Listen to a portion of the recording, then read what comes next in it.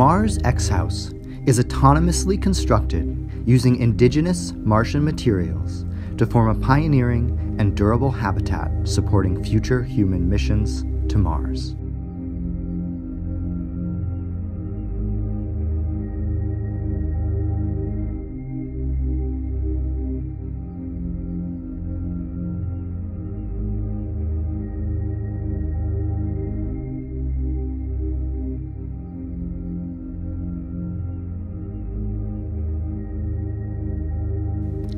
Enclosing an atmosphere of pressure in the near vacuum of Mars is a major design driver for our habitat.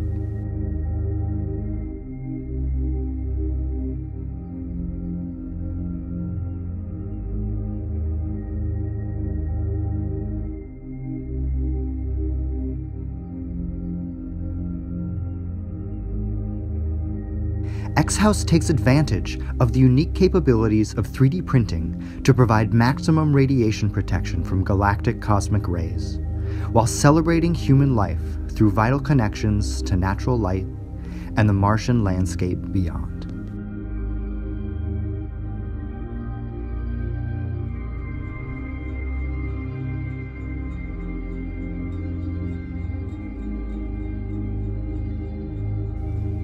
Independent and redundant mechanical zones isolate each laboratory from the living spaces in the event of an emergency.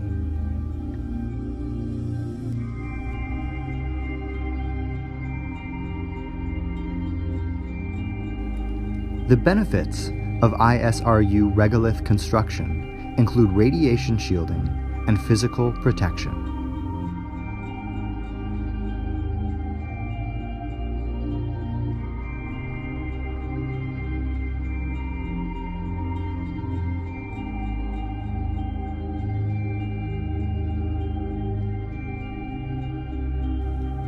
Search's human centered approach prioritizes safety, redundancy, and the well being of the crew above the Martian surface.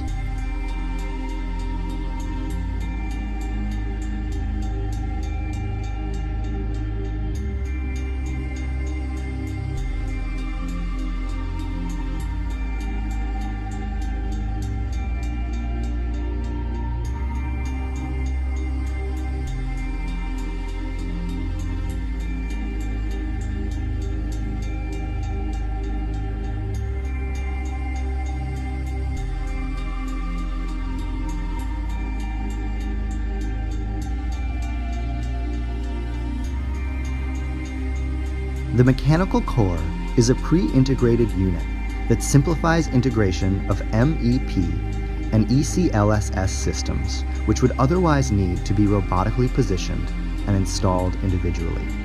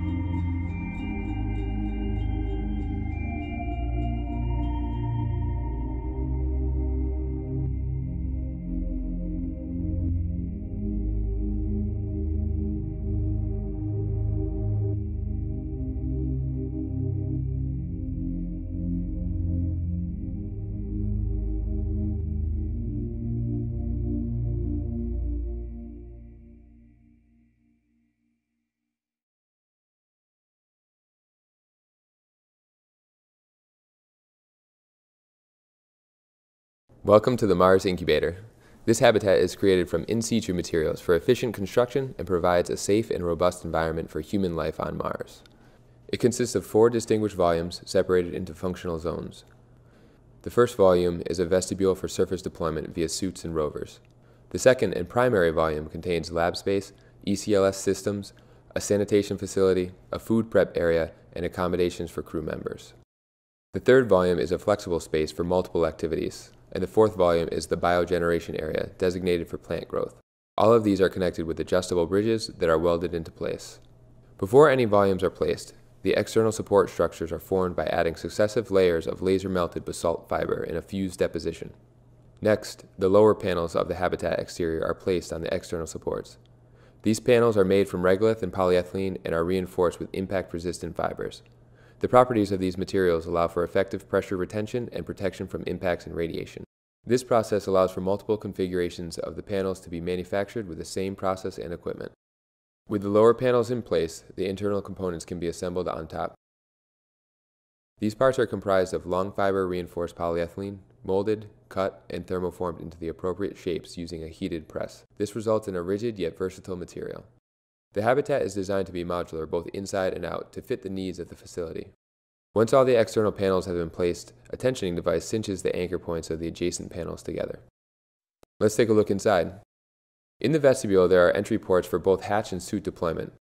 This volume was designed with standalone pressurization equipment to enable direct deployment to the surface. As with all secondary volumes, an emergency supply of pressurization gas is located below the floor in case of a primary system failure. Moving into the primary volume, to our left we have a sample processing area. This wet lab space can be used to conduct experimentation on the samples geologists collect. Behind us on the opposite side of the entrance is the dry lab, outfitted with computers and other analysis equipment.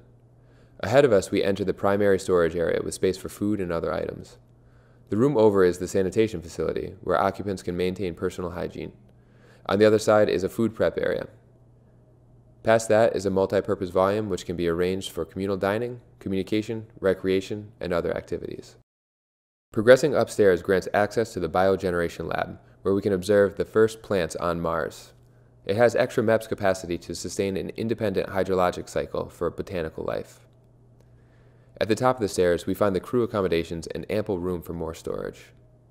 Back downstairs, we can take a look at perhaps the most important space, the heart of the habitat is the ECLS system housed on the bottom third of the primary volume. The space below the deck is divided into sections for each of the required operations HVAC, water management, oxygen generation, and power distribution. The heating and cooling unit pushes air through the habitat and connects to a MEPS port, exposing a heat exchanger to the external environment. The water systems occupy the most space with a freshwater reservoir, a treatment system, and a waste containment volume. The oxygen generation system breathes CO2 and siphons water from the reservoir to produce oxygen for the crew and methane for fuel. Power for the habitat will be drawn from a kilopower installation, connected through a MEPS unit and distributed throughout the volume. The Mars Incubator offers a modular design, efficient construction, and a viable living area for a productive and comfortable mission to Mars.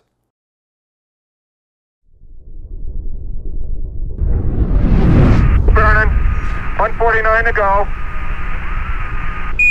Hat John's looking at it out the hatch window. Picture's tracking. Welcome to the Zopherus habitat. The Zopherus 1 mission set out to create a dwelling, a habitat inspired by biology and designed with an easily expandable modular footprint. Prior to construction, tremendous preparation is necessary for the astronauts' arrival.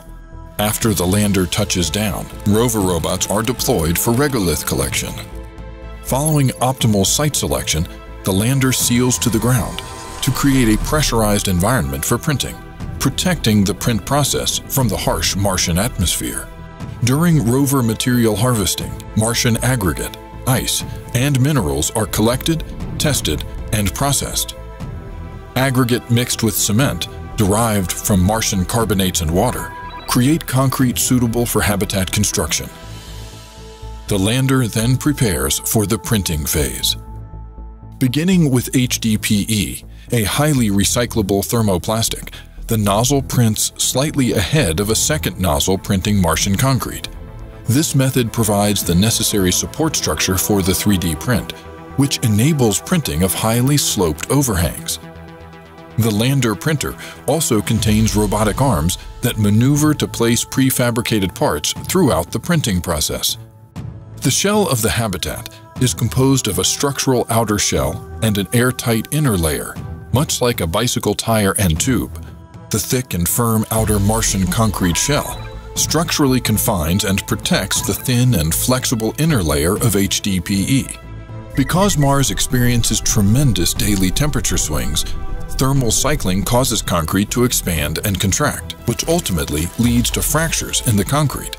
To mitigate cracking, the outer surface of the habitat includes a solar-oriented HDPE shading system that shields portions of the concrete shell that are exposed to the longest duration of direct sunlight, significantly reducing the magnitude of thermal stress while minimizing material use.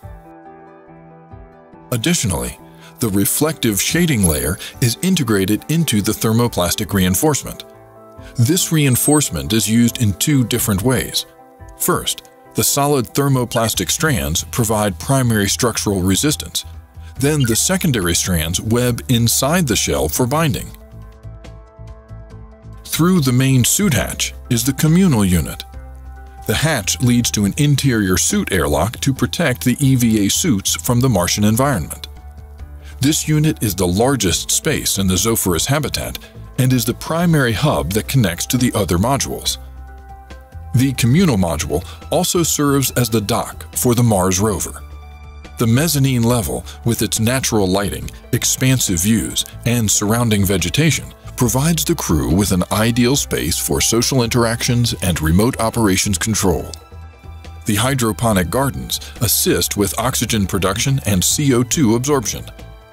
In addition, the external translucent radiation shield can be activated to protect the crew during peak radiation exposure hours. The crew quarters contain four bedrooms for rest, leisure, and privacy. Each space contains storage for personal items, emergency pressure suits, and a viewport. The crew unit also contains a sanitation room, equipped with plumbing facilities. The laboratory module provides a flexible space for studying Mars, complete with work surfaces, computer stations, lab equipment, and communications technology. Electrical and plumbing systems are centrally located for easy routing. The lab also features a second rover hatch to enable quick loading and unloading of field samples. The Zopherus habitat has the unique ability to grow with the demands of research and crew. The mobile printer is equipped to build and make repairs on site while also serving as a backup pressure vessel in case of an emergency. The Zopherus Habitat, building a new way forward for space exploration and human habitation.